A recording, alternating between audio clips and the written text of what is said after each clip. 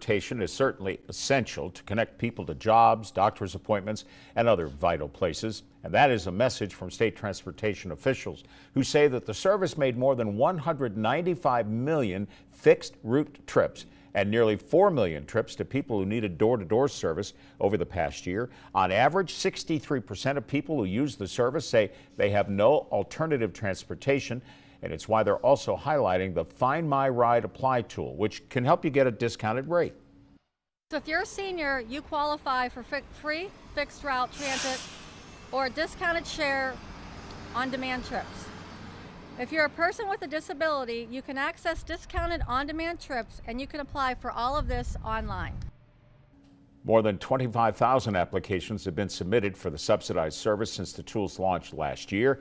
And in honor of Rider Appreciation Week, several agencies, including Amtran, are offering giveaways and free rides on May the 3rd.